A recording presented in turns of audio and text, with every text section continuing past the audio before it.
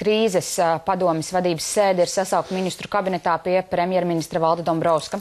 Tajā lems par turpmāko rīcību saistībā ar notikušo tra traģēdiju un sēde sasaukta, lai vienotos, kāda ir nepieciešamā valdības un iesaistīto dienestu turpmākā darbība.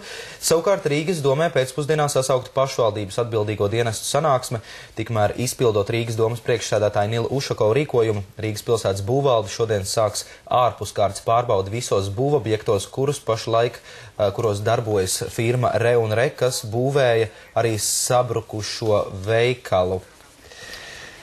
Un, Šobrīd uh, mēs tiešēdē esam sazinājušies ar valsts prezidentu Andru Bērziņu. Arī viņš vakar vakarā ļoti intensīvi sekoja līdz notiekošiem. Ļoti bieži sazinājās ar visiem atbildīgiem dienestiem, lai uzzinātu situācijas attīstību. Labrīt, prezident kungs! Labrīt! Sakiet, kādas jums bija, kāda bija pārdzīvojumi tad, kad uzzinājāt par traģēdiju un, un kādas šobrīd ir sajūtas? Nu, sajūtas, kādas viņas var būt, nu, es jau sākot no vakardienas sešiem, tās, tās sajūtas ir tādas, ka, nu, man ir bijusi tāda personīga traģēdijas, tāpēc tā labi to apzinos, to situāciju un kā tas ir, ka, ka tu nezini, vai tev atnāks vai neatnāks mājās.